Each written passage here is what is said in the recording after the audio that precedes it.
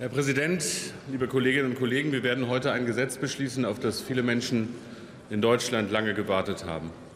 Es geht um die längst überfällige Einführung der Grundrente. Die Grundrente ist das zentrale sozialpolitische Reformprojekt dieser Bundesregierung. 1,3 Millionen Menschen werden von ihr profitieren. Aber gleichzeitig sage ich, es geht um mehr. Es geht um eine Richtungsentscheidung für unser Land. Es geht gerade in diesen Corona-Zeiten um die Frage, ob wir einfach zur Tagesordnung übergehen oder ob wir diese Krise als Chance begreifen, unser Land besser und gerechter zu machen, meine Damen und Herren. Es geht, es geht um den Wert der Arbeit, um die Anerkennung und den Respekt für tägliche Leistung. Es geht auch um den Platz in der sozialen Mitte unserer Gesellschaft. Auf den haben alle Menschen Anspruch in diesem Land, die hart arbeiten, die Kinder erziehen, die Angehörige pflegen.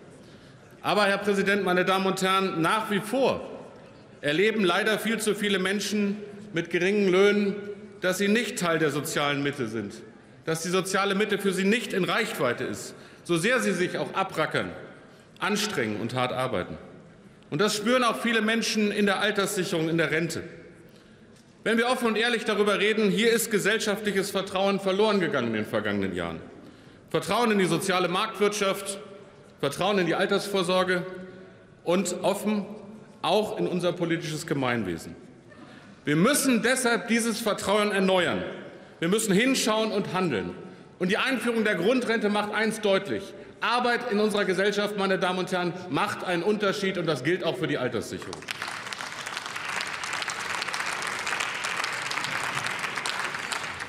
Denn gerade die Corona-Krise macht den Handlungsbedarf wie in einem Brennglas ja sehr deutlich.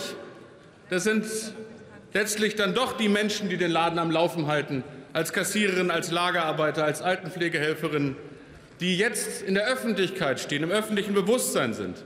Viele von ihnen bekommen Anerkennung, bekommen Schulterklopfen, Pralinen, Blumen. Sie werden als Heldinnen und Helden des Alltags gefeiert. Das, meine Damen und Herren, ist nett gemeint ändert aber nichts daran, dass diese Menschen am Ende des Monats und im Ruhestand zu wenig rausbekommen. Und deshalb sage ich, es geht um Anerkennung, gar keine Frage. Aber es ist nicht bei warmen Worten zu belassen.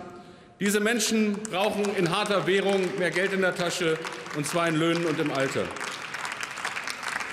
Es geht nicht nur um Anerkennung und schon gar nicht allein um Pralinen. Es geht im Kern um Leistungsgerechtigkeit, meine Damen und Herren. Und es ist auch eine Frage des Anstandes. Denn ohne diese Menschen, von denen ich gerade gesprochen habe, und viele andere auch, würde unser Land nicht funktionieren. Es geht aber auch um Verlässlichkeit, um die Verlässlichkeit dieser großen Koalition. Wir haben lange gerungen, liebe Kolleginnen und Kollegen, das ist doch kein Geheimnis.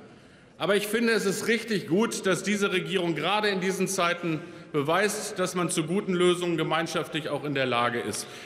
Zu ringen um die beste Lösung mit unterschiedlichen Positionen ist keine Schande. Aber nicht zu Ergebnissen zu kommen, das wäre eine Schande gewesen, liebe Kolleginnen und Kollegen. Aber es ist letztendlich auch eine Frage in dieser Zeit der wirtschaftlichen Vernunft, denn wir stärken die Kaufkraft der Menschen an dieser Stelle. Und die Rede ist vor allen Dingen von Frauen, die in diesem Land von der Grundrente profitieren würden. 70 Prozent und mehr als werden Frauen profitieren. Und ich rede von Frauen wie beispielsweise von Susanne Holtkotte. Susanne Holtkotte arbeitet in Bochum. Sie steht mitten im Leben, auch im Berufsleben. Sie ist Reinigungskraft in einem Krankenhaus im Ruhrgebiet.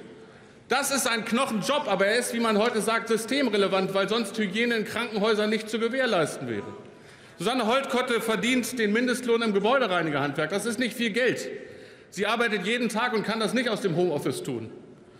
Sie hat nach derzeitiger Rechtslage, in 18 Jahren geht sie in Rente, einen Rentenbezug nach von nur 760 Euro. Meine Damen und Herren, mit der Grundrente könnte sie, wenn sie ihr Berufsleben so fortsetzt, immerhin mal 1030 Euro bekommen. Das ist auch noch kein Reichtum. Aber für Susanne Holtkotte macht das einen Unterschied. Und deshalb ist es ein guter Tag für Menschen, die hart arbeiten in diesem Land.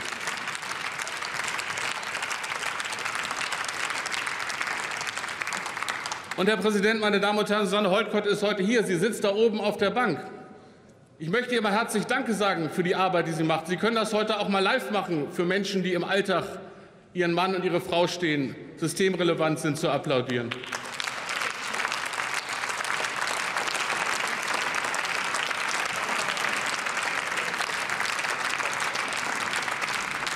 Und Susanne Holt, meine Damen und Herren, hat sich eingesetzt für die Grundrente. Dafür bin ich ihr auch dankbar. Und zwar nicht nur für sich selbst, sondern für ihre Kolleginnen und Kollegen. Liebe Susanne, ganz herzlichen Dank und herzlichen Glückwunsch zum Geburtstag. Das wollte ich an dieser Stelle auch noch mal loswerden.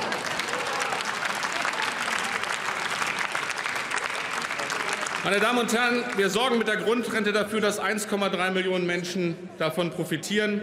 Es geht um einen Zuschlag auf die Rente für diejenigen, die hart gearbeitet haben, und zwar ohne Anträge. Es wird ja viel über Bürokratie gesprochen in diesem Zusammenhang. Dass wir die Bürgerinnen und Bürger durch einen automatischen Abgleich zwischen Rentenversicherung und Steuerverwaltung letztendlich vor Bürokratie freihalten, dass wir sie nicht mit Anträgen belasten, das ist für mich ein moderner Sozialstaat, meine Damen und Herren. Es geht nämlich nicht darum, irgendwelches Almosen zu verteilen. Die Menschen haben sich das erworben. Es geht um eine Grundrente und nicht an diesem Punkt um ein Altmosen. Deshalb ist das der richtige Weg, dass wir das automatisch machen. Präsident, meine Damen und Herren, mit der Grundrente erneuern wir ein Kernversprechen unseres Sozialstaats. Wer sein Leben lang gearbeitet hat, ist auch im Alter abgesichert. Und er gehört und Sie gehören zur sozialen Mitte unserer Gesellschaft. Darum muss es gehen. Ich bitte Sie also heute um Zustimmung für die Einführung der Grundrente in Deutschland. Herzlichen Dank. Soweit also Bundesarbeitsminister Hubertus Heil. Damit ist dann die Aussprache eröffnet über die Grundrente, wie sie hier umgesetzt werden soll. Es gibt insgesamt acht Änderungsanträge von der Linksfraktionen. Also wird es hier wohl eine ja, farbenreiche Aussprache geben. Sehr geehrter Herr Präsident, sehr verehrte Kollegen, verehrte Bürger! Zur ersten Lesung hörten wir noch vom Kollegen Brinkhaus aus der CDU-CSU-Fraktion, dass es keine zweite und dritte Lesung dieses Gesetzes geben wird, wenn die Grundrente nicht solide gegenfinanziert wird. Nun, diese Aussage hielt nicht besonders lange, und das, obwohl sich an dem Gesetzesentwurf nicht das Geringste geändert hat. Mit anderen Worten, die CDU-CSU-Fraktion lässt sich wieder einmal von der SPD vorführen und verrät wieder einmal ihre Prinzipien oder vielleicht sollte man sagen ehemaligen Prinzipien. Herzlichen Glückwunsch im Übrigen an die CDU zum 75. Geburtstag. Man sollte meinen, mit so einem Alter hat man genügend Erfahrungen gesammelt, um sich gegen einen hyperaktiven Koalitionspartner durchzusetzen. Aber dem ist wohl nicht so. Wir haben ja hier an dieser Stelle schon häufig über die Grundrente debattiert. Ich könnte nun wieder die Gründe anführen, warum wir die Grundrente für grundlegend falsch halten, warum wir dieses Konzept für zu teuer und vor allem für ungerecht halten warum wir es für verheerend halten, das Äquivalenzprinzip so dermaßen aufzuweichen, dass es also für eine bestimmte Leistung eine bestimmte Gegenleistung gibt, warum es falsch ist, die Rentenversicherung mit bürokratischen Aufgaben zu überlasten, um auf die denkbar komplizierteste und teuerste Art und Weise Geld zu verteilen, von dem am Ende doch so wenig Menschen profitieren. Das alles möchte ich mir heute einmal sparen, denn alles, was zu diesem Thema gesagt werden konnte, wurde bereits gesagt. Von den zahlreichen Sachverständigen in der öffentlichen Anhörung, von der Rentenversicherung und sogar von den eigenen Abgeordneten der Großen Koalition, wie wir heute wissen, vergeblich. Stattdessen möchte ich heute lieber etwas zur Berechnung dieser Grundrente sagen. Mit Erlaubnis des Präsidenten möchte ich aus dem neuen Paragraph 76g SGB VI zitieren, bei dem es um die Berechnung der Grundrente geht. Zitat Beginn. Der Zuschlag an Entgeltpunkten wird ermittelt aus dem Durchschnittswert an Entgeltpunkten aus allen Kalendermonaten mit Grundrentenbewertungszeiten und umfasst zunächst diesen Durchschnittswert. Übersteigt das Zweifache dieses Durchschnittswertes den jeweiligen maßgeblichen Höchstwert an Entgeltpunkten nach den Sätzen 3 bis 5, wird der Zuschlag aus dem Differenzbetrag zwischen dem jeweiligen Höchstwert und dem Durchschnittswert nach Satz 1 ermittelt. Der Höchstwert beträgt 0,0334 Entgeltpunkte, wenn 33 Jahre mit Grundrentenzeiten vorliegen. Liegen mehr als 33, aber weniger als 35 Jahre mit Grundrentenzeiten vor, wird der Höchstwert nach Satz 1 je zusätzlichen Kalendermonat mit Grundrentenzeiten um 0,001389 Entgeltpunkte erhöht. Das Ergebnis ist auf vier Dezimalstellen zu runden. Liegen mindestens 35 Jahre mit Grundrentenzeiten vor, beträgt der Höchstwert 0,0667 Entgeltpunkte. Die Berechnung der Höhe des Zuschlages an Entgeltpunkten wird der nach den Sätzen 1 bis 5 ermittelte Entgeltpunktwert mit dem Faktor 0,875 und anschließend mit der Anzahl der Kalendermonate mit Grundrentenbewertungszeiten höchstens jedoch mit 420 Kalendermonaten vervielfältigt. Zitat Ende. Ist das noch für irgendjemanden nachvollziehbar? Für Sie schon? Sehr schön, herzlichen Glückwunsch. Der Rentenbescheid an sich ist ja schon nicht einfach zu verstehen. Hier leisten die versicherten Ältesten und Rentenberater sehr gute Hilfe für die Rentner. Aber diese Berechnung der Grundrente können selbst diese Rentenberater nicht mehr nachvollziehen. Die Grundrente wird durchschnittlich 75 Euro im Monat betragen. Wenn der Ehepartner ein ausreichendes Einkommen hat, erfolgt eine Einkommensanrechnung und es gibt nicht einmal diese 75 Euro. Was werden denn Bezieher der Grundrente denn nun sagen, wenn sie einen Rentenbescheid mit so einem geringen Zahlbetrag erhalten? Minister Heil hatte ihnen noch 200 Euro versprochen, in einigen Reden 400 Euro, heute 300 Euro. Werden Sie Ihre Grundrente akzeptieren? Nachvollziehen können Sie die Berechnung ja nicht mehr. Sie werden sich ungerecht behandelt fühlen und klagen. Genau wie die Rentner, die keinen Anspruch auf Grundrente haben. Oder die Ehepaare, bei denen eine Einkommensanrechnung stattfindet, im Gegensatz zu Lebensgemeinschaften, bei denen dies nicht so ist. Oder Rentner, die nicht wollen, dass ein automatischer Einkommensabgleich beim Finanzamt vorgenommen wird und die auf die Einhaltung des Datenschutzes pochen. Sie können sich nicht dagegen wehren, sie können, sie können sich der Grundrente nicht verweigern. Es wird bei den Rentnern sehr viel Enttäuschung geben, denn der Name Grundrente impliziert ja, dass jeder diese Rente bekommt. Dem ist aber nicht so. Meine Damen und Herren, ich hätte mir sehr gewünscht, dass wir heute über ein Gesetz sprechen, das die Lebensumstände für die vielen bedürftigen Rentner wirklich verbessert. Viele Menschen, die in prekären Verhältnissen leben, obwohl sie ein Leben lang gearbeitet haben, haben darauf gehofft. Das Konzept der Grundrente ist zu teuer, sozial ungerecht wirkungslos und belastet die Folgegeneration. Die Finanzierung des Ganzen ist völlig offen, die Umsetzung ein Desaster, auch ohne Corona.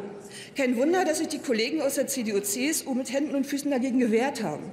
Allein die Führung hat anders entschieden. Wie wir in Armut lebenden Rentnern zielgenau und effizient helfen können, das haben wir als AfD-Fraktion bereits im Februar 2019 mit einem Antrag gezeigt. Eine Freibetragslösung in der Grundsicherung im Alter kommt bei den Bedürftigen an und setzt die Rentenversicherung auch nicht so dermaßen unter Druck. Sie, Minister Heil, haben unseren Vorschlag sogar mit in das Grundrentengesetz aufgenommen, aber die große Hürde 35 Jahre Versicherungszeiten eingebaut. Warum lassen Sie diese Unterstützung nicht allen bedürftigen Rentnern zugutekommen? Das wäre eine Maßnahme, die die Altersarmut gezielt bekämpft, aber le leider zählen für Sie nur Rentner, die 33 bzw. 35 Jahre gearbeitet haben. Alle anderen, auch die Erwerbsunfähigkeitsrentner, bleiben außen vor. Nicht alle Abgeordneten der CDU-CSU-Fraktion sind begeistert von der Grundrente. Die Mittelstandsunion verabschiedete dazu ein Papier, in dem zu lesen war, ich zitiere mit Erlaubnis des Präsidenten, diese Grundrente schafft Ungerechtigkeiten, sie ist nicht zielgerichtet nur für Bedürftige, sie ist nicht solide finanziert, sie belastet mitten in der größten Wirtschaftskrise Steuer- und Beitragszahler und wird auch nachfolgende Generationen unnötig belasten. Zitat Ende. Dieser Einschätzung kann ich mich hundertprozentig anschließen. Es ist nur schade, dass diese Abgeordneten innerhalb ihrer Fraktion eine Minderheit darstellen. Vielen Dank.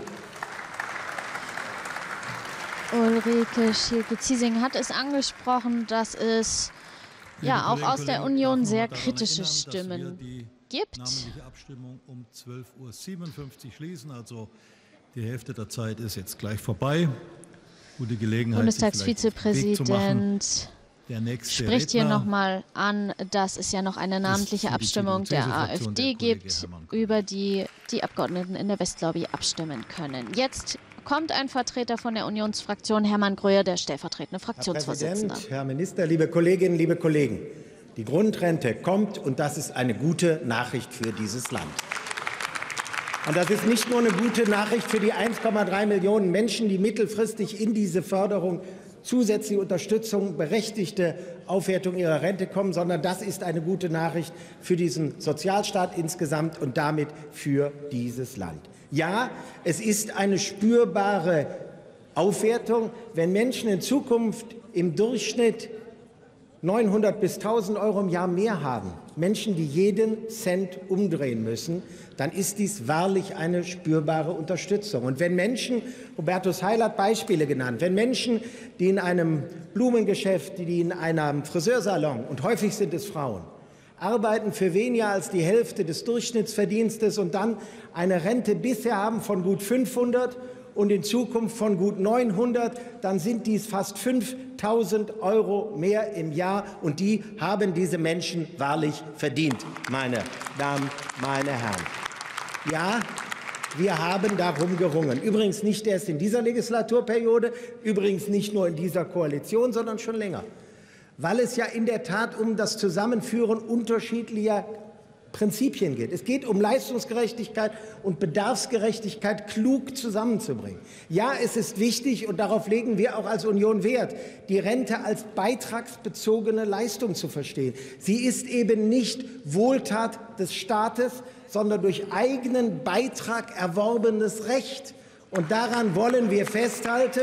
Und deswegen ist Beitragsbezogenheit wichtig. Und wenn man auch aus guten Gründen diese Beitragsbezogenheit zugunsten der einen Gruppe und damit ja immer auch zur Nichtbegünstigung anderer verändert, dann muss man dies begründen.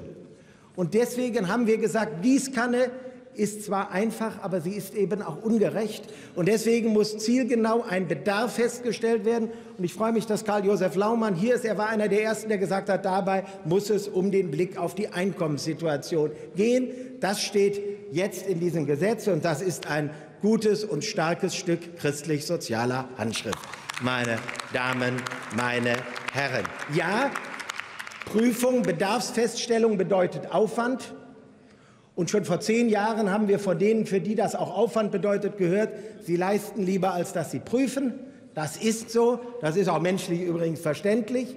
Aber es ist wichtig, dass wir uns dazu bekennen, denn unkompliziert, aber ungerecht wäre nicht der bessere Weg. Und wir haben in der ersten Lesung sehr bewusst gesagt, wenn dies diesen Aufwand bedeutet, dann müssen wir auch ins Gesetz selber schreiben, dass dies stufenweise umgesetzt werden kann. Dann wollen wir Transparenz, wer jetzt dann als Neurentenzugang im Sommer des nächsten Jahres und wer aus dem Rentenbestand über 20 Millionen Renten, die geprüft werden müssen im Hinblick automatisiert auf einen Anspruch auf Grundrente, das dies bis Ende des Jahres 2022 Zeit braucht. Das ist beschlossen worden, steht im Gesetz. Ich glaube, solche Transparenz ist wichtig. Lassen Sie mich etwas zu den Finanzfragen sagen. Ja, natürlich.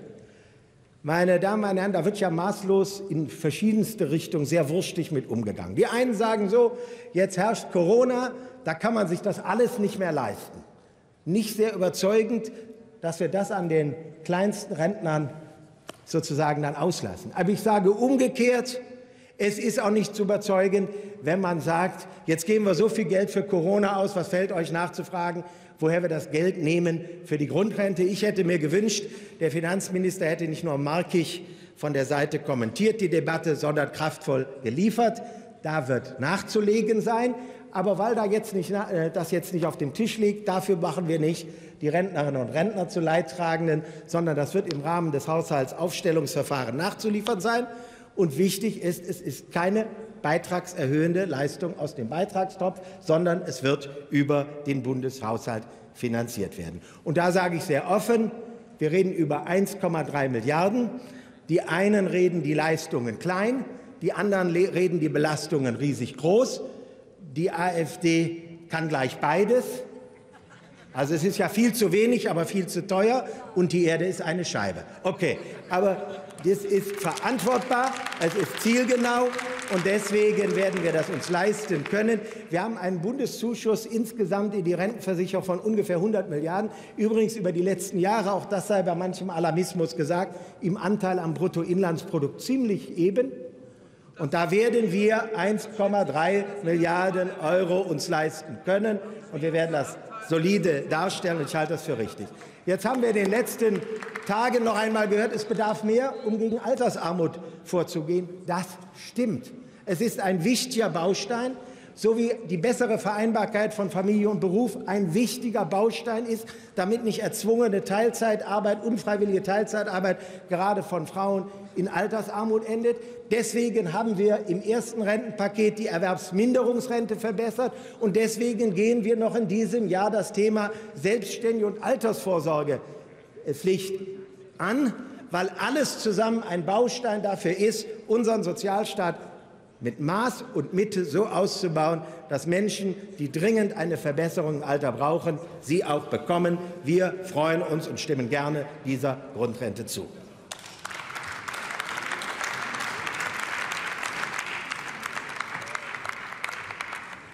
Auch die FDP hat hier einen Antrag eingereicht, in dem fordert die Fraktion eine Basisrente. Und für die FDP spricht jetzt Johannes Vogel, der rentenpolitische Sprecher seiner Fraktion. Jetzt.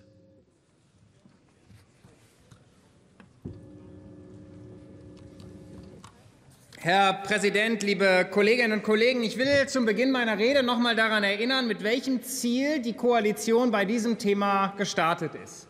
Und auch wenn Hubertus Heil gerade kurz äh, abstimmen äh, ist, zitiere ich den Bundesarbeitsminister in seinem allerersten Interview zum Thema in der Welt am Sonntag.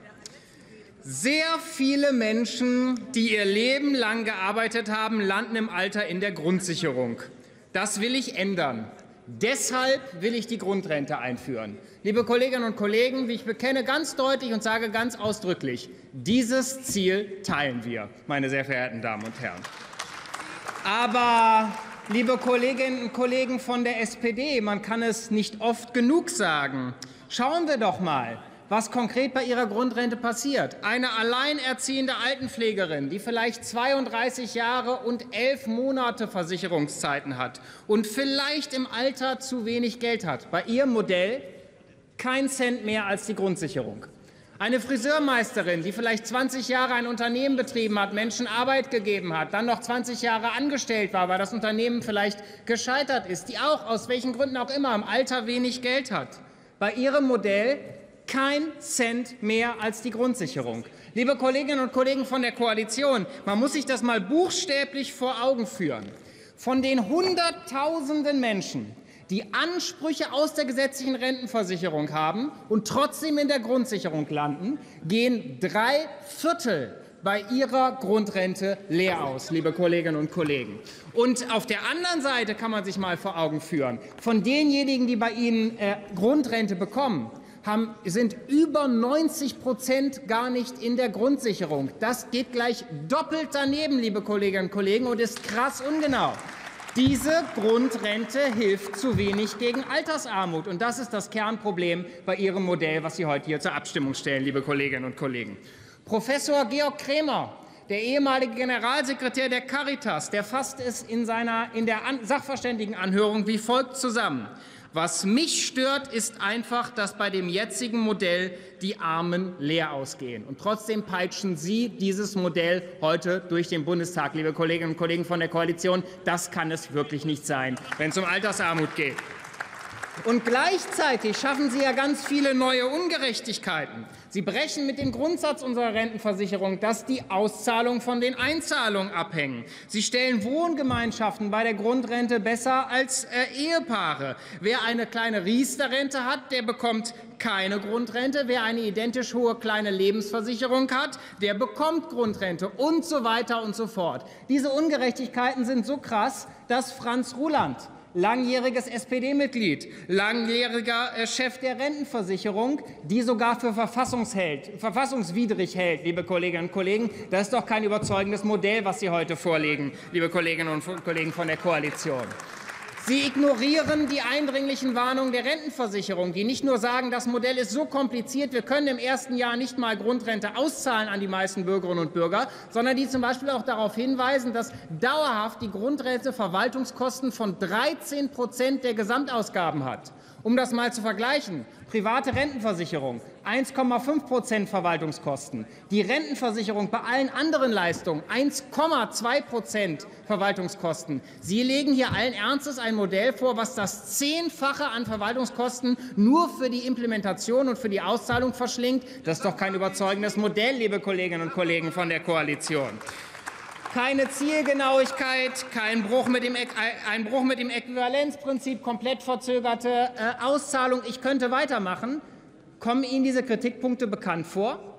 Wurde gerade schon zugerufen, habe ich in der ersten Lesung schon gesagt. Ja, liebe Kolleginnen und Kollegen, genau das ist das Problem. Seit der ersten Lesung hat sich dieses Modell um keinen Deut verbessert. Wir hatten eine Expertenanhörung, die fiel für alle langjährigen Parlamentarier, kann man das beurteilen, nun wirklich außergewöhnlich kritisch aus. Und was haben Sie an der Grundrente verändert? Nichts. Das ist kein gutes Regierungshandeln, lieber Bundesminister Heil, und das ist nicht überzeugend.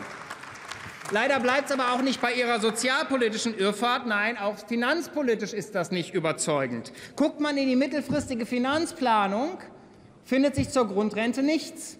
Das Ziel, was gegen Altersarmut zu tun, das ist wirklich wichtig. Aber eine solide Finanzierung können wir schon erwarten. Denn es geht hier nicht um einmalige Krisenmaßnahmen, sondern es geht um eine jahrzehntelange Ausgabe in der Rentenversicherung. Sie selber haben gesagt, Sie brauchen dafür zusätzliche Einnahmen. Sie wollten eine neue Steuer einführen. Diese Steuer gibt es nun nicht. Jetzt haben Sie weder Steuereinnahmen noch eine solide Finanzierung. Liebe Kolleginnen und Kollegen, Deutschland ist auch deshalb so gut durch diese Krise gekommen und ist jetzt unzweifelhaft handlungsfähig, weil wir wir in guten Zeiten auf die Finanzen geachtet haben. Deshalb müssen wir auch auf solide Rentenfinanzen achten. Was Sie hier machen, ist das Gegenteil. Und das ist nicht überzeugend, liebe Kolleginnen und Kollegen von der Koalition. Und Alexander Dobrindt von der CSU, der sagt das ja auch ganz offen. Ich zitiere letztmalig. Der SPD sollte nicht die Gelegenheit gegeben werden, mit einem Rententhema die Sommermonate zu bespielen, kündigte er an. Das sei der strategische Hintergrund, das Thema Grundrente diese Woche abzuschließen, trotz offener Finanzierungsfragen. Liebe Kolleginnen und Kollegen von der Union, Machtpolitik ist Teil von Politik. Machtpolitik darf aber nicht der einzige Teil von Politik sein, vor allem dann nicht, wenn etwas leidet, nämlich ein gutes Modell für die Menschen, die Unterstützung brauchen. So geht es nicht, liebe Kolleginnen und Kollegen von der Koalition. Und es ginge besser. Wir haben Ihnen schon vor Monaten, das steht auch heute zur Abstimmung, ein Alternativkonzept vorgelegt. Bei unserer liberalen Basisrente, da hat jede und jeder, die gearbeitet, eingezahlt, Kinder erzogen oder Angehörige gepflegt haben, im Alter sicher mehr als die Grundsicherung. Das Modell ist fair, zielgenau und finanzierbar. Und lieber Kollege Matthias Birkwald, zur Frage, was kommt da raus? Ich gratuliere ebenfalls herzlich Susanne Holtkotte heute zum Geburtstag. Hubertus Hein und ich haben sie gemeinsam ganz am Anfang der Debatte über dieses Thema an einer Talkshow kennengelernt. Menschen wie Susanne Holtkotte haben bei der liberalen Basisrente mehr am Ende in der Tasche als bei ihrer Grundrente, liebe Kolleginnen und Kollegen. Und gleichzeitig muss niemand im Alter aufs Sozialamt gehen, weil das bei der Rentenversicherung ausgezahlt wird. Das ist ein überzeugendes Modell gegen Altersarmut. Das sehen nicht nur wir so. Das hat der Arbeits- und Sozialministerdialog des Bundesrates so gesehen. Das vertritt der ehemalige Caritas-Generalsekretär so. Deutschland braucht dringend eine gute Grundrente. Ihre Grundrente ist das nicht. Es ginge besser. Und deshalb stimmen Sie nachher der liberalen Basisrente zu. Vielen Dank fordert Johannes Vogel, der rentenpolitische Sprecher. Ich habe es schon angekündigt, von der Linksfraktion gibt es insgesamt acht Änderungs- und einen Entschließungsantrag zum Gesetzentwurf. Und für die Linke spricht jetzt gleich Matthias Birkwald, der rentenpolitische Sprecher seiner Fraktion. Sehr geehrter Herr Präsident, meine Damen und Herren! Die Kölner Band BAP hatte in den 70er Jahren einen Song, in dem es hieß, Besser hätte ich das gelassen, dann wäre alles nicht passiert. Also, besser hätte ich das gelassen, dann wäre alles nicht passiert. In den vergangenen 25 Jahren gab es für die unteren 40 Prozent der Einkommensbeziehenden keine nennenswerten realen Lohnerhöhungen. Ein großer Niedriglohnsektor wurde aufgebaut und das Rentenniveau von 53 Prozent auf 48 Prozent gekürzt. Deshalb hat das Deutsche Institut für Wirtschaftsforschung festgestellt, dass Durchschnittsverdienende im Jahr 2000 23,2 Jahre arbeiten mussten für eine Rente auf dem Grundsicherungsniveau und es im Jahr 2018 bereits 27,4 Jahre waren. Und darum gilt als erstes, die Gewerkschaften zu stärken, die allgemeinverbindliche Erklärung von Löhnen zu erleichtern und jetzt sofort den gesetzlichen Mindestlohn auf mindestens 12 Euro anzuheben.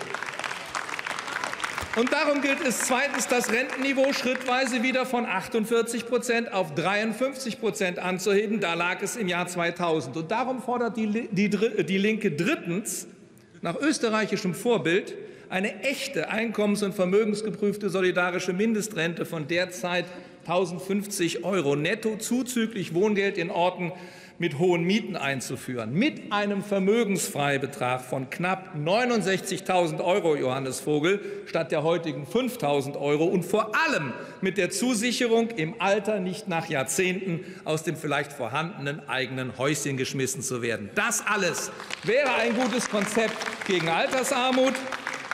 Es wäre gerecht, bezahlbar und wirkungsvoll. Und es ist dringend notwendig. Denn die sogenannte Grundrente ist keine. Die gibt es in den Niederlanden, wo alle Alleinstehenden im Rentenalter 1255 Euro netto erhalten, wenn sie 50 Jahre dort lebten. Das ist Grundrente.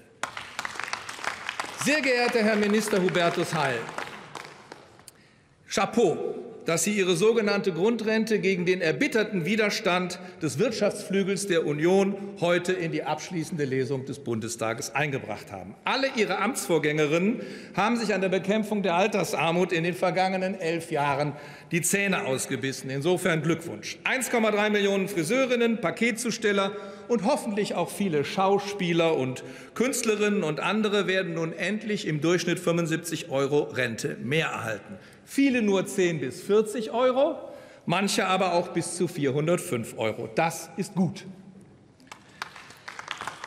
Aber es hätten drei Millionen sein können. Das haben CDU und CSU verhindert, und das ist sehr schlecht. Aber es ist gut, dass überwiegend Frauen und besonders Menschen im Osten von der sogenannten Grundrente profitieren werden. Und dafür klatscht auch die Linke. Es ist ebenfalls gut, dass die Freibeträge in der Grundsicherung im Alter und beim Wohngeld für Rentnerinnen und Rentner einführen. Aber es ist schlecht, dass das nur für Rentner und Rentnerinnen mit mehr als 33 Versicherungsjahren gilt. Die Gewerkschaften und die Sozialverbände laufen dagegen Sturm. Den Freibetrag für Betriebsrenten und für die Riester-Rente gibt es in der Grundsicherung im Alter und bei Erwerbs Minderung ab null Jahren. Das muss auch für die gesetzliche Rente gelten. Ich fordere Sie auf, streichen Sie diese Hürde aus dem Gesetz, stimmen Sie unserem Änderungsantrag zu. Liebe Kolleginnen und Kollegen, ich sage es so, wie es ist. Hätten Sie den, Renten, äh, den Referentenentwurf aus dem Arbeitsministerium vom Mai 2019 heute eingebracht, hätte die Linke zugestimmt, trotz einiger Kritik. Dem heutigen Gesetzentwurf können wir nicht zustimmen.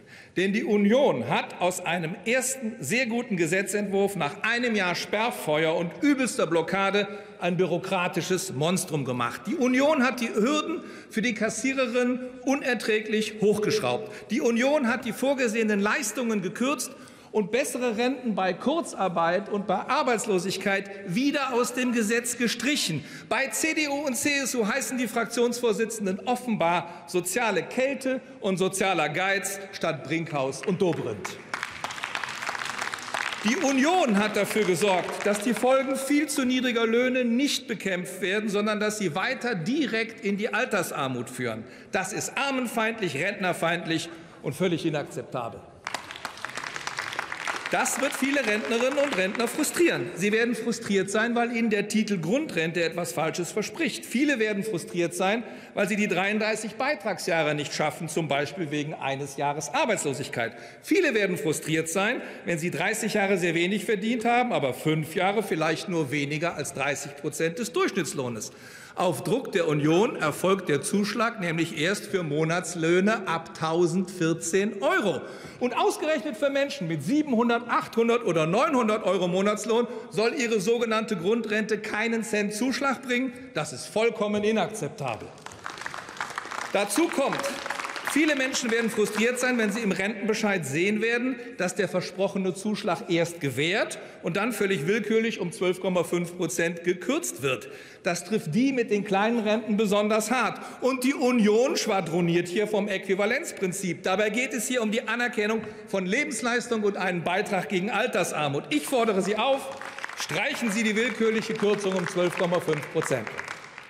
Viele Betroffene werden frustriert sein, wenn ihnen der Zuschlag im, nächsten, im einen Jahr zusteht und im nächsten Jahr nicht, weil vielleicht ein Ehepartner einen Minijob annimmt und dann das Paar über die Einkommensprüfung stolpert. Eine haarsträubend komplizierte Einkommensprüfung bei einer durchschnittlichen Leistung von 75 Euro ist bestämend. Streichen Sie die Einkommensprüfung. Zu all diesen Unverschämtheiten der Union haben wir hier Änderungen, Streichungen und Verbesserungen eingebracht. Nehmen Sie diese an, dann würden auch Zeiten des Mutterschutzes, Zurechnungszeiten bei Erwerbsminderung und Arbeitslosigkeit berücksichtigt. Dann würden 25 Jahre als Voraussetzung und nicht 33 Jahre reichen, und es gäbe den Zuschlag nicht nur für 35 Jahre, sondern auch für 40 oder 45 Jahre. Dann würde aus einem schlechten Grundrentengesetz wieder ein guter Rentenzuschlag für Niedrigverdienende. Und dann würde auch die Linke zustimmen. So werden wir uns enthalten müssen. Herzlichen Dank.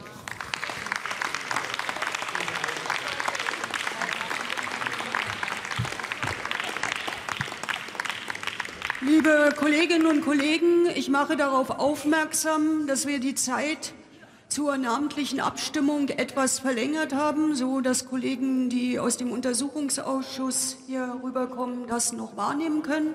Um 14.10 Uhr werde ich aber die Abstimmung beenden. Das Wort hat der Kollege Markus Kurt für Petra die Fraktion Pau hat das hier Bündnis angekündigt und ich schätze, sie hat sich versprochen. Ich schätze, sie meint, dass um 13.10 Uhr die Abstimmung zum AfD-Entschließungsantrag beendet Frau wird. Präsidentin, liebe Kolleginnen und Kollegen! Mich beschleicht, nachdem ich die Reden von Hubertus Heil und Hermann Gröhe gehört habe, tatsächlich ein mulmiges Gefühl.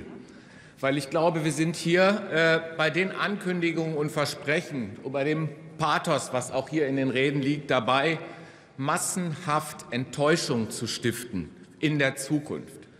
Weil viele, viele Menschen, die nach ihren Worten von Anerkennung von Lebensleistung, Alltagshelden, die Erwartung und das Gefühl haben, dass sie diese Grundrente erhalten werden, und sie erhalten sie nicht. Äh, Frau Holtkotte, auch von mir herzlichen Glückwunsch zum Geburtstag. Sie haben noch 18 Jahre vor sich und äh, ich hoffe sehr, dass Sie nicht arbeitslos werden längere Zeit. Denn Arbeitslosigkeitszeiten zählen nicht als Wartezeiten für die Grundrente. Und Menschen, die längere Zeit arbeitslos waren, können noch so sehr Alltagsheldin oder Alltagsheld gewesen sein, sie werden die Grundrente nicht erhalten. Und das Gleiche gilt für Personen, die längere Zeit erwerbsgeminderte Zeiten haben. Ja, das ist sowieso schon ein Schicksal, was ziemlich schwer wiegt, wenn man eine Erwerbsminderung hat. Aber dann steht am Ende auch kein Zugang zur Grundrente. Und das finde ich ausgesprochen fatal. Und an der Stelle kann ich, ich wollte das eigentlich erst später im Text tun, wirklich sofort auf das Modell der grünen Garantierente verweisen, das nämlich alle Zeiten, Versicherungszeiten als Anerkennungszeiten vorsieht. Dann hätte Frau Holtkotte, dann hätte Frau Holtkotte, auch wenn das Schicksal, wie gesagt, ich hoffe es wirklich nicht, sie trifft, Zugang zu einer Rentenleistung von rund 1000 Euro. Und bei der grünen Garantierente reichen auch 30 Jahre aus an Versicherungszeiten und man braucht nicht 35 Jahre. Wir haben in einem Gutachten, das für uns das Deutsche Institut für Wirtschaftsforschung für die Fraktion gemacht hat, das wird auch äh, demnächst noch mal veröffentlicht, das durchrechnen lassen. Und mit dem Modell der grünen Garantierente würde der Grundsicherungsbezug auf Null, auf Null, nahezu Null gehen. Das heißt, in Verbindung mit einer Bürgerversicherung oder Erwerbstätigenversicherung mit einer Versicherungspflicht würden wir das Problem des Grundsicherungsbezugs im Alter an der Wurzel packen und rausziehen. Aber leider bin ich auch noch nicht fertig, Frau Holtkotte. Es gibt noch einen anderen Punkt, den Sie auf jeden Fall, auch wenn Sie jetzt durchgehend bis zum Rentnereintritt beschäftigt sein werden, berücksichtigen sollten. Denn auch wenn Sie durchgehend bis äh, zum Eintritt äh, ins Alter arbeiten, werden Sie erst mal die Grundrente nicht bekommen von Herrn Heil, die 1030. Natürlich nicht. Erst zwei Jahre später. Deswegen erspart es rechtzeitig auf die Seite packen oder dem Kind geben zur treuhänderischen Verwahrung. Denn, so hat der Gutachter Frank Nullmeier ganz klar festgestellt, der Gesetzentwurf verfehlt gerade im Moment des Entstehens des Bedarfs die Berechnung des Bedarfs, weil Sie nämlich doch, Sie müssen nicht mit dem Kopf schütteln, lieber Hubertus Heil, weil Sie nämlich die automatisierte Auszahlung unbedingt wollten und nicht eine Antragsleistung geschaffen haben, wo dann die Rentenversicherung prüfend eintreten muss, wird das ja automatisiert mit dem Steuerbescheid gemacht. Und die Steuern des vorvergangenen Jahres, dann nämlich wenn die Steuererklärung dann endgültig abgegeben ist, das ist die Grundlage dann für die automatisierte Auszahlung. Und Frank Nullmeier sagt, man kann eine Zahlung, die im Moment der Zahlung einen Bedarf decken soll, nicht auf Daten gründen, die deutlich vor dem Zeitpunkt der Zahlung liegen. Also das ist doch eigentlich ganz einfach zu verstehen. Dazu muss man doch jetzt nicht irgendwie äh, sonst wie Experte sein. Das ist eigentlich sozialpolitische Logik, ist das. Und das, glaube ich, ist einer der Punkte, das ist mir am Anfang gar nicht so aufgefallen, muss ich gestehen, am Anfang dieses Gesetzentwurfs. Das ist einer der Punkte, die ja regelmäßig und wiederkehrend für Enttäuschung sorgen werden. Das wird ja häufig eigentlich auch hunderttausendfach immer der Fall sein, wenn man vom Erwerbsleben in die Rente eintritt, weil ja das Erwerbseinkommen höher ist als die Rente. Und das ist ein struktureller Webfehler, der, glaube ich, uns noch viel, viel Ärger in der Zukunft machen wird und der, äh, fürchte ich, auch der Rentenversicherung auf die Füße fallen wird. Sie hätten sich für eine reine, klare Regelung im Rentenrecht wie mit der grünen Garantierente entscheiden sollen. In der Mythologie, in der antiken Mythologie ist das Mischwesen, ein Zentaur, halb Pferd, halb Mensch, ein äh, interessantes Wesen. Ja? In der Wirklichkeit sind Mischwesen ja eher bedauernswerte, gequälte Kreaturen und darum nach unseren bioethischen Maßstäben ist es ja auch verboten, äh, Mischwesen zu schaffen oder zu klonen. Was Sie aber hier mit der Grundrente getan haben, ist ein sozialpolitisches Mischwesen zu kreieren, das auch, äh, würde ich mal sagen, wenn es ein Gefühl hätte, schwer leiden würde. Sie haben eine Mischung aus Rentenversicherung, einem veränderten Wohngeldanspruch und dann aus der Grundsicherung im Alter geschaffen mit den kompliziertesten Mechanismen, die der Kollege Matthias Birkwald ja eben auch alle noch mal äh, beschrieben hat, des Hochwertens, Runterrechnens. Das ist alles äh, sozusagen aus ihrer politischen Konfliktarithmetik heraus erklärbar, für viele Menschen in diesem Land überhaupt nicht nachzuvollziehen und äh, enttäuschungsstiftend. Und darum nochmal stimmen Sie unserem Entschließungsantrag zu. Und wenn wir die Gelegenheit haben, werden wir diese Grundrente weiterentwickeln, reformieren zur Garantierente. Danke.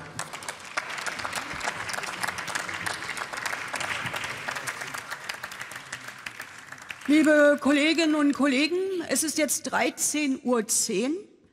Ich frage, gibt es noch Mitglieder des Hauses, die ihre Stimme zur zweiten namentlichen Abstimmung nicht abgegeben haben? Hier geht es um den Entschließungsantrag der AfD-Fraktion zum zweiten Nachtrag zum Bundeshaushaltsplan.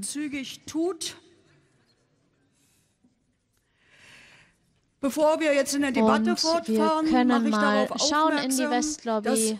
Da ist es relativ und Schriftführer aus allen Renate ich noch, hier steht. bei der Auszählung vermisst werden. Ich bitte also, dass alle Oppositionsfraktionen noch dafür sorgen, dass die Auszählung dann nach dem nächsten Redebeitrag, wenn ich die Abstimmung geschlossen habe, auch tatsächlich stattfinden kann. Also Petra Pau das hat Wort die Abstimmung hat noch einmal verlängert. Drei Minuten haben die Abgeordneten noch Zeit, um hier abzustimmen, denn so lange hat Katja Mast Redezeit.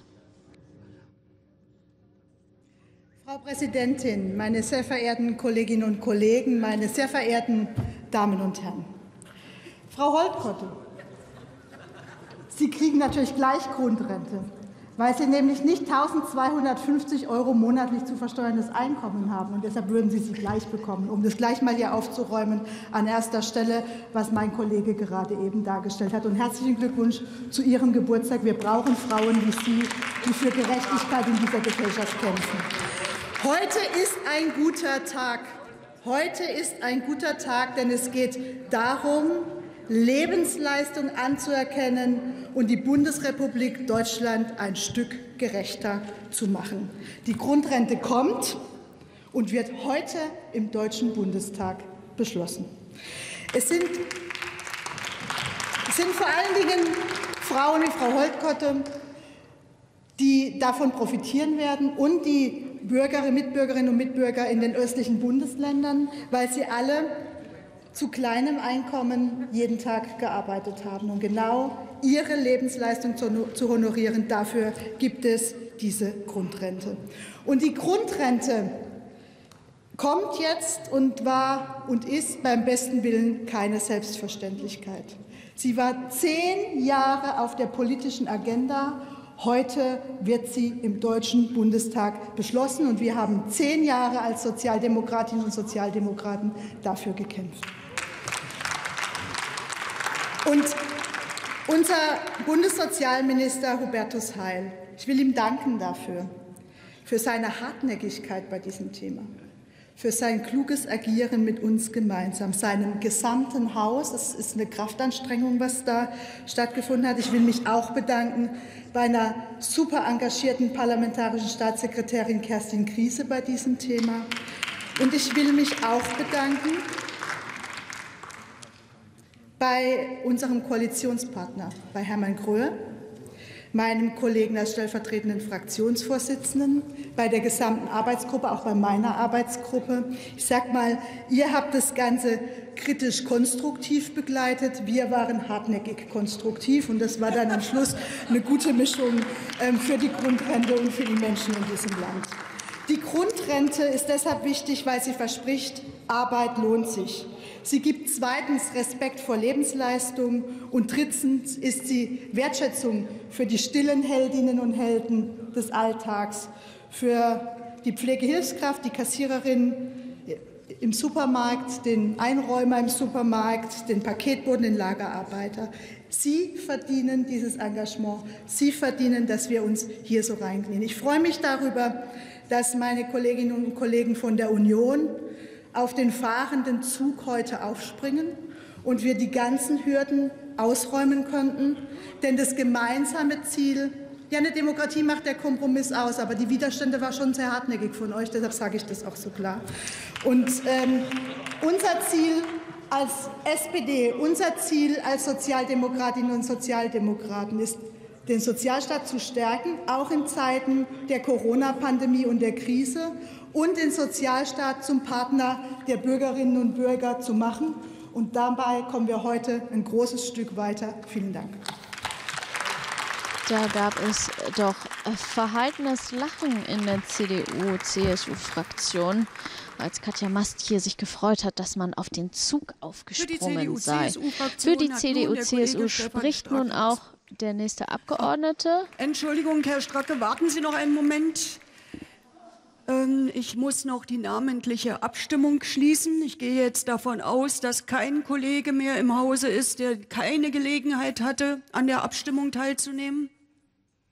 Das ist der Fall. Also ich die Westlobby ist ziemlich leer und damit schließt Bundestagsvizepräsidentin Petra Pau hier auch die Abstimmung. Die Urnen, können Sie gleich sehen, werden jetzt geschlossen und zum Zählen in einen Nebenraum gebracht. Meine sehr verehrten äh, Damen und Herren, liebe Kolleginnen und Kollegen, Leistung muss sich lohnen. Das ist unser sozialpolitischer Anspruch als Union und den verwirklichen wir ja auch mit der vorliegenden Grundrente. Wir wollen, dass diejenigen, die viele Jahre gearbeitet haben, aber wenig verdient haben, im Alter deutlich mehr Geld in der Tasche haben und wir wollen Familienarbeit honorieren. Davon profitieren ganz überwiegend Frauen, denn sie sind es, die Kinder erziehen, die pflegen. Und deswegen kommt die Grundrente. Und mit dieser Grundrente stärken wir auch das Prinzip der Leistungsgerechtigkeit.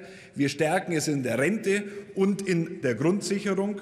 1,3 Millionen Rentnerinnen und Rentner erhalten einen Zuschlag auf ihre Rente von bis zu rund 420 Euro pro Monat. Das ist gut.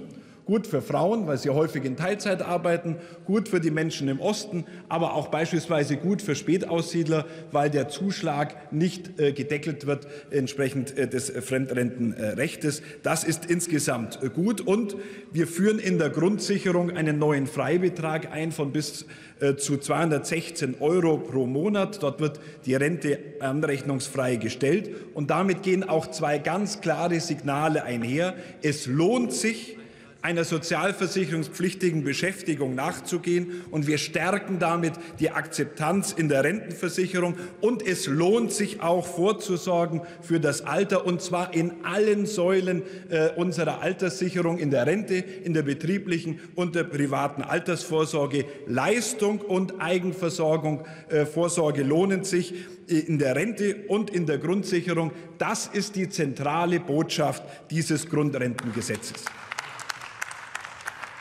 Meine sehr verehrten Damen und Herren, wir verknüpfen das Prinzip der Leistungsgerechtigkeit mit dem der Bedarfsgerechtigkeit. Wir helfen dort, wo es notwendig ist. Und das ist genau das Gegenteil von Gießkanne. Und da unterscheiden wir uns auch bei den Ansätzen äh, der Opposition, gerade der Linken und der Grünen, die bei der Gießkanne festhalten, und bei der FDP oder AfD, die die Menschen in der Grundsicherung äh, ausschließlich äh, belassen wollen. Und Gießkanne das ist, das ist der Unterschied. Gießkanne ist immer ungerecht, weil sie milliardenschwere Mitnahmeeffekte produziert, gerade bei denjenigen, die weitere Einkünfte haben oder wo der Ehepartner beispielsweise äh, entsprechend äh, Einkommen verfügt und beide das gut abgesichert sind. Und weil äh, Gießkanne ungerecht ist, ist sie deswegen auch immer teuer und es gibt aber auch immer einen Schutz vor Überforderung, ein Schutz vor Überforderung der Steuerzahler und Beitragszahler. Äh, und das ist auch ein Prinzip und Teil äh, der Leistungsgerechtigkeit. Und deswegen lehnen wir die Gießkanne ab. Sie ist ungerecht und sie ist unfinanzierbar. Und deswegen setzen wir auf eine Einkommensprüfung. Maßstab dabei ist das zu versteuernde Einkommen. Eine Einkommensanrechnung ist dabei nicht neu. Wir kennen es vom Mitwenrecht. Äh, da wird das auch nicht in Frage gestellt. Und ja, es ist richtig, das führt zu einem hohen Aufwand. Ähm, aber ähm, wir, dieser Aufwand entsteht innerhalb der Verwaltung und nicht äh, bei den Menschen. Für die Menschen ist das, was wir gemacht haben, bürokratiearm. Kein Antrag, keiner muss äh, aufs Amt gehen. Und entscheidend ist, wir lassen die Daten rennen und nicht die Menschen. Das ist unser Ansatz äh, in diesem Bereich. Meine sehr verehrten Damen und Herren, durch die Bedarfsprüfung äh, ist die Grundrente auch finanzierbar. 1,4 Milliarden Euro im Einführungsjahr, deutlich weniger als die 5 äh, Milliarden Euro im Ursprungsmodell. Die Grundrente ist zielgenau, sie ist finanzierbar und sie wird aus Steuermitteln finanziert. Ein Griff in die Sozialkassen haben wir verhindert. Der Vorschlag des Finanzministers war, äh, letztendlich diese notwendigen Steuermittel durch die Finanztransaktionssteuer in Höhe von einer Milliarde Euro zu organisieren und 400 Millionen Euro aus Eigenmitteln des Haushaltes des Bundesarbeitsministers. Aus diesen Worten sind keine Taten gefolgt. Diese Schwäche darf nun allerdings nicht zu Lasten der Rentnerinnen und Rentner gehen. Und deswegen geben wir ein Signal der Sicherheit. Das haben die Rentnerinnen und Rentner verdient. Und gerade ein Signal der Sicherheit jetzt innerhalb der schwersten Rezession seit der Nachkriegsgeschichte. Das ist notwendig auch zur Stärkung des gesellschaftlichen und sozialen Zusammenhalts in diesem Lande. Meine sehr verehrten Damen und Herren, die Grundrente ist ein Modell und ein Baustein zur äh, Stärkung der Rentnerinnen und Rentner und zur Vermeidung der Alters, äh, von Altersarmut sicherlich nicht ausschließlich. Deswegen haben wir auch die Erwerbsminderungsrenten beispielsweise erhöht. Wir haben die Mütterrente eingeführt. Wir haben die Verbesserungen bei der betrieblichen Altersvorsorge gesorgt. Und wir werden jetzt auch die Altersvorsorgepflicht von Selbstständigen stärken. Das zeigt, Rentenpolitik ist immer ein Dauerlauf kein Sprint. Und deswegen können wir uns heute freuen über diesen Gesetz und morgen wieder an die Arbeit gehen für die Menschen in Deutschland, für ein zukunftsfähiges und gutes Alterssicherungssystem in Deutschland. 1,4 Milliarden Euro wird diese Grundrente im Einstiegsjahr 2021 kosten, so schätzt es der Bundesarbeitsminister Hubertus Heil. Gleich wird hier drüber abgestimmt, aber noch gibt es einige Redner. Ralf Kapczak. Liebe Kolleginnen und Kollegen, aller guten Dinge sind drei. Zwei Koalitionen haben sich an diesem Thema schon vergeblich versucht. Die dritte schafft es. Deshalb ist in der Tat heute ein guter Tag. Die Grundrente ist ein sozialpolitischer Meilenstein, vergleichbar mit der Einführung des gesetzlichen Mindestlohns. Diese Grundrente für Menschen, die lange gearbeitet, Kinder erzogen oder Angehörige gepflegt haben, wird endlich in die Tat umgesetzt. Lange genug hat es gedauert und wir haben es gehört und auch noch mal gespürt hier. In der Koalition hat es mächtig geknirscht. Aber es gibt Situationen, da muss man einfach die Nerven behalten, wenn man auf dem richtigen Weg ist. Und es hat sich gelohnt. Denn für die Grundrente muss man eben keinen Antrag stellen. Es gibt keine Vermögensprüfung wie in der Grundsicherung. Es ist eben keine Fürsorgeleistung, erst recht kein Almosen, sondern ein eigener, erworbener Anspruch. Und das ist eben auch der Unterschied zu dem Konzept der FDP. Es ist keine Grundsicherung plus, Deshalb ist der FDP-Begriff Basisrente reiner Etikettenschwindel. Was auf dem Tisch liegt, ist ein Kompromiss, klar. Bei aller Kritik im Detail, es ist ein intelligenter und kein fauler Kompromiss. Das ist ein Zitat von Ulrich Schneider, dem Chef des Paritätischen Wohlfahrtsverbands, der nicht dafür bekannt ist, überschwängliches Lob für diese große Koalition zu Zugegeben, man hätte sich einfachere Lösungen vorstellen können, aber mit der Komplexität müssen sich die Rentnerinnen und Rentner glücklicherweise nicht auseinandersetzen. Wenn sie in Rente gehen, wird im Hintergrund ohne Antrag geprüft, ob sie für die Grundrente in Frage kommen. Dann gibt es einen Abgleich mit den Finanzbehörden und dann gibt es ein Ergebnis. Fertig. Und so gilt das auch für den Bestand. Jeder hat mitbekommen, es war ein langer Weg bis zu dieser dritten Lesung. Man kann Kritik üben an dem, was auf dem Tisch liegt, völlig klar. Aber ich frage mich schon, ob alle wissen, was sie so in die Welt twittern. Auf der einen Seite gegen die Grundrente wettern und vor ein paar Jahren genauso gegen den Mindestlohn, das ist schon schräg. Vorhin ist die Band BAP genannt worden und da fällt mir ein Refrain ein, Wahnsinn, das darf doch nicht wahr sein. Denn niedrige Löhne sind in erster Linie der Grund für eine niedrige Rente. Und wer niedrige Renten verhindern will, der muss deshalb für anständige Löhne kämpfen. Aber mit der Logik ist das ja manchmal so eine Sache. Damit das hier nicht ganz untergeht, im Geleitzug der Grundrente wird die betriebliche Altersvorsorgung gerade für Beschäftigte mit geringem Einkommen noch einmal deutlich verbessert. Auch darüber entscheiden wir heute, und das ist gut so.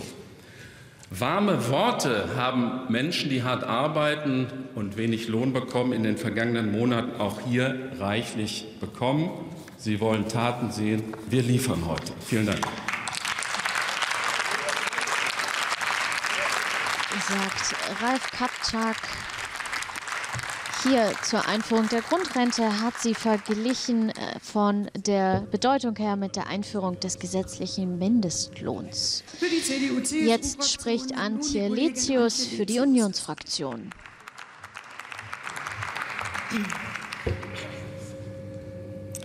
Sehr geehrte Frau Präsidentin, sehr geehrte Damen und Herren, liebe Kolleginnen und Kollegen, leider habe ich jetzt kein Babcon-Zitat. Ähm, nach langen Verhandlungen beschließen wir heute eine deutliche Aufwertung niedriger Renten. Wer mindestens 33 Jahre gearbeitet, Kinder erzogen und Angehörige gepflegt, aber nur unterdurchschnittlich Verdienste erzielt hat, profitiert ab dem 1. Januar 2021 von höheren Leistungen im Ruhestand. Das ist ein wichtiger Durchbruch und äh, ich kann Ralf Kapschak zustimmen, ein guter Tag. Für bis zu 1 für bis zu 1,3 Millionen Anspruchsberechtigte, darunter viele Frauen und Menschen in Ostdeutschland. Diese Grundrente ist eben keine Fürsorgeleistung, sondern eine Fortentwicklung der Rente nach Mindestentgeltpunkten. Durch die neu festgelegten Voraussetzungen werden geringe Verdienste ab 33 Jahren Grundrentenzeiten künftig stärker aufgewertet. Ab 35 Jahren erfolgt die volle Anhebung. Sie kann im Einzelfall eine Verdoppelung der tatsächlichen Beitragszahlen bedeuten. Diese Aufwertung erfolgt jedoch nicht bedingungslos, sondern wie von CDU und CSU gefordert, wenn das Gesamteinkommen niedrig ist. Dabei wird auch das Einkommen des Partners berücksichtigt. Das ist richtig und gerecht. Was ist außerdem Inhalt des Gesetzes? Die neu geschaffenen Freibeträge. Zukünftig profitieren diejenigen, die mindestens 33 Jahre Grundrentenzeiten zurückgelegt haben, von einem Freibetrag in der Grundsicherung und einem Freibetrag beim Wohngeld. Auch dann, wenn sie neben der Grundrente noch auf Wohngeld und Grundsicherung angewiesen sind. Je nach Rentenhöhe kann dieser Freibetrag bis zu 216 Euro monatlich ausmachen. Darüber hinaus stärken wir die betriebliche Altersversorgung, eine wichtige Säule unseres Rentensystems. Auch Geringverdiener können und sollen hiervon profitieren. Durch das Grundrentengesetz wird der maximale Förderbetrag zur betrieblichen Altersversorgung bei einem Bruttolohn von bis zu 2.200 Euro verdoppelt. Eine gute Nachricht für bis zu 2,1 Millionen Menschen. Für die Verwaltung, das ist schon angesprochen worden, ist diese Umsetzung der Grundrente mit einem hohen bürokratischen Aufwand verbunden. Die Grundrente gilt schließlich nicht nur für Neurentner, auch 26 Millionen Bestandsfälle müssen geprüft werden. Eine große Kraftanstrengung für die Rentenversicherung. Aber wer einem bestehenden und zugegebenermaßen einem sehr komplexen System eine passgenaue und gerechte Lösung hinzufügen will, der muss gerade zu Beginn einige Mühen in Kauf nehmen. Da hilft auch kein großes Klagen. Und diesen Arbeitsaufwand nehmen wir auch gerne deswegen in Kauf, damit die Rente zielgenau ist und den Antragsberechtigten möglichst keinen Aufwand entsteht. Die Neuberechnung der Rente, das wurde schon mehrmals erwähnt, erfolgt nämlich ohne Antragstellung. Der Anspruch auf Grundrente soll ab dem nächsten Jahr bestehen. Da bis dahin nicht Millionen von Renten geprüft werden können, wird die Rentenversicherung mit den ältesten Jahrgängen beginnen. Den Grundrentenberechtigten entstehen hierdurch insofern kein Nachteil, weil sie die zusätzlichen Leistungen rückwirkend ausgezahlt bekommen. Sehr geehrte Damen und Herren, haben wir mit dem Koalitionspartner hart um eine Lösung gerungen? Ja. Stellt das Ergebnis einen Kompromiss dar? Natürlich. Dass die vom Bundesfinanz- und vom Bundesarbeitsminister zugesagte Finanzierung nicht eingehalten wird, ist für mich enttäuschend. Aber der hier vorliegende Gesetzentwurf ist ein Kompromiss, der über eine Million Menschen in Zukunft besser dastehen lässt. Der zeigt, dass sich die Beiträge in die Rentenkasse lohnen und dass wir als Gesellschaft wertschätzen, wenn Kinder erzogen und Pflegebedürftigen geholfen wird. Aus, aus diesem Grund werde ich dem Gesetz zustimmen. Vielen Dank.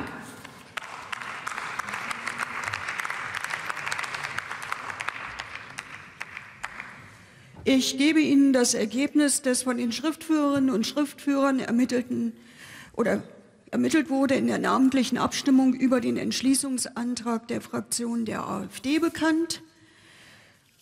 Abgegebene Stimmkarten 670, mit Ja stimmten 87 Abgeordnete, mit Nein haben 580 Abgeordnete gestimmt und es gab drei Enthaltungen.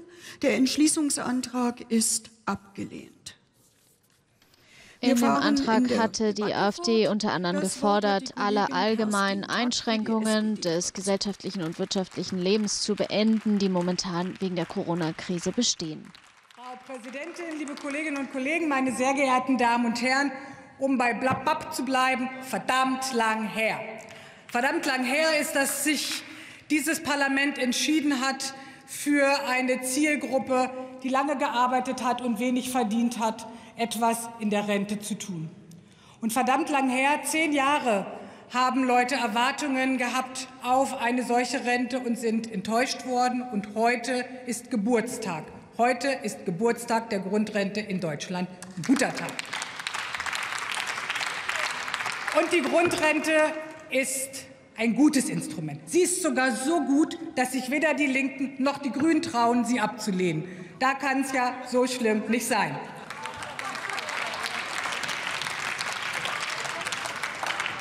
Und um auch mal sehr deutlich zu sagen, für viele, insbesondere Frauen, die zu ihrer Zeit, in der sie gearbeitet haben, häufig mit wenig Lohn und häufig nur in Teilzeit, weil sie eben nicht vorgefunden haben, eine Betreuungsinfrastruktur, wie wir sie heute haben, mit Ganztagskitas, Ganztagsschulen und anderen Möglichkeiten, die sich selber zurückgenommen haben für eine gute Vereinbarkeit von Beruf und Familie.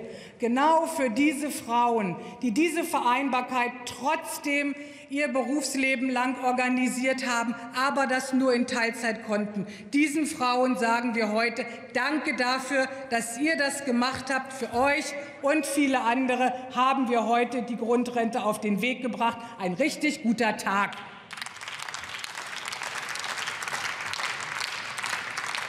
Und deswegen freuen wir uns nicht nur, dass wir sie heute einbringen, sondern wir freuen uns, dass es einen Meilenstein gibt. Den hätte es ohne uns nicht gegeben. Deswegen freuen wir uns, dass die es nicht gemacht haben, die es nicht können, die anderen es erst noch beweisen müssen. Ein guter Tag für diese Regierung, ein guter Tag für Deutschland. Auf in eine gute Grundrente. Das sei heute ein guter Tag. Das hat hier schon der ein oder andere Abgeordnete gesagt, die Grundrente soll verabschiedet werden. Nächster Redner in der Debatte der ist Peter jetzt Weiß, aus der Unionsfraktion Peter Weiß.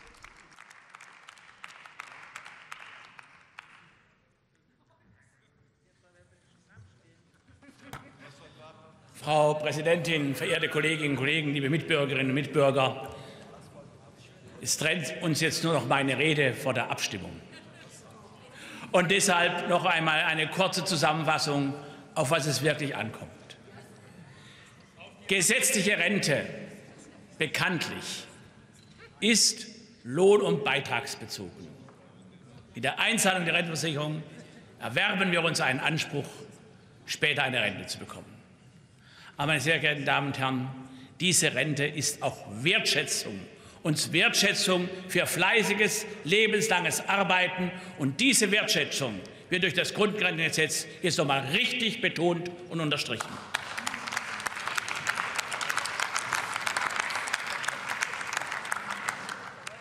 Weil, wenn jemand vielleicht in seinem Leben nur wenig verdient hat, folglich auch wenig auf seinem Rentenkonto stehen hat, Kinder erzogen hat, Angehörige gepflegt hat, erleben muss, dass er im Alter eventuell nur das bekommt, was man in der Grundsicherung auch ausbezahlt bekommt. Also demjenigen finanziell gleichgestellt wird, den das System überhaupt nie eingezahlt hat. Dann ist von Wertschätzung wenig übrig geblieben. Und deswegen ist es richtig, dass wir diesen Zustand beenden. Wer in die Rente eingezahlt hat, der muss auch besser dastehen wie jemand, der nie in die Rente eingezahlt hat. Und meine sehr geehrten Damen und Herren, dafür haben wir zwei wichtige Elemente in diesem Gesetz. Element 1, dass niedrige Rentenanwartschaften aufgewertet werden.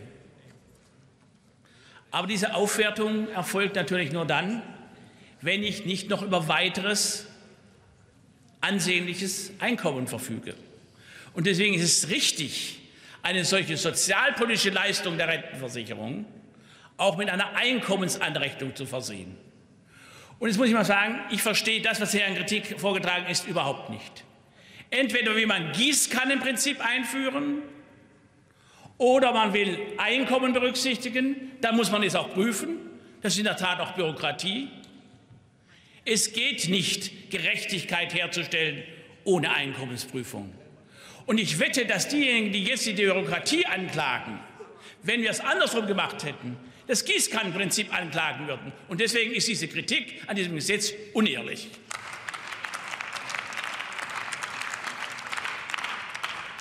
Das Zweite ist, wenn jemand dann doch auf Grundsicherung im Alter angewiesen wird, räumen wir einen Freibetrag ein. Wer gesetzliche Rente hat, und das Gleiche, wer private Rente hat, angespart hat oder Betriebsrente hat. Dem verrechnen wir nicht alles zu 100 Prozent mit der Grundsicherung, sondern dem lassen wir etwas, und zwar mindestens 100 Euro, maximal 216 Euro im, im, im Monat. Und auch das ist Anerkennung und Wertschätzung für fleißiges Arbeiten und Ansparen fürs Alter. Das wird mit diesem Gesetzentwurf endlich auch für die gesetzliche Rente Realität.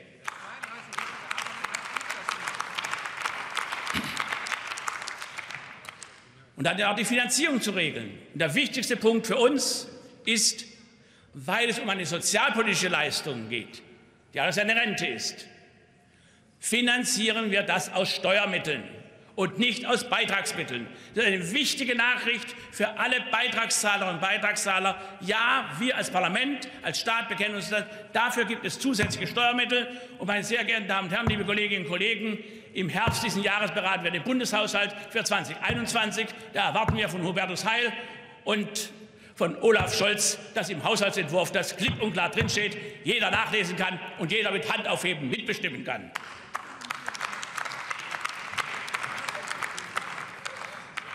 Und dann machen wir mit diesem Gesetz, verehrte Kolleginnen und Kollegen, eine klare, an, zu, für die Zukunft eine klare Ansage. Denn wir schauen uns noch mal die betriebliche Altersversorgung an. Wir verdoppeln die Geringverdienerförderung für eine rein arbeitgeberfinanzierte betriebliche Altersvorsorge und wir erweitern den Berechtigtenkreis. Bislang galt das nur für ein Einkommen bis zu 2200 Euro. Künftig sind alle mit dabei, die ein Einkommen bis zu 2.575 Euro haben. Das sind noch irgendwann zwei Millionen Berechtigte mehr. Weil nämlich folgendes, und wir haben miteinander verabredet zusätzlich, dass wir bis Oktober einen Vorschlag des Bundesfinanzministers bekommen, wie wir die sogenannte Riester-Rente als die private kapitalgedeckte Altersvorsorge vereinfachen, verschlanken, gängiger machen. Und mit diesen beiden Ansagen machen wir Folgendes. Wir wollen, dass gerade auch die geringen Verdiener in unserem Land künftig über eine zusätzliche Altersvorsorge äh, verfügen, dass sie die sich aufbauen können mit entsprechender Förderung und Unterstützung durch den Arbeitgeber wie durch den Staat. Denn unser Zukunftsmodell ist nicht, dass die Deutschen ein Volk von Grundrentenbezieher sind, werden, sondern unsere Zukunftsvision ist, dass auch die Geringverdiener in unserem Land sich eine Altersversorgung aufbauen können, wo sie weder auf Grundrente noch auf Grundsicherung angewiesen sind. Wir wollen ein Alterseinkommen, von dem man leben kann, und zwar anständig leben kann. Und deshalb, Kollege Weiß, die Erläuterungen zu diesen Vorhaben müssen Sie jetzt tatsächlich auf den Herbst verschieben. Sie müssen zum Schluss kommen. Ich wollte meinen Schlusssatz sagen. Verehrte Frau Präsidentin, liebe Kolleginnen und Kollegen, und deshalb ist das ein Gesetzentwurf, der die Rente stärkt, der aber für die Zukunft eine klare Ansage macht. Jawohl, wir wollen ein auskömmliches Alterskommen für alle Menschen, die in Deutschland arbeiten. Vielen Dank.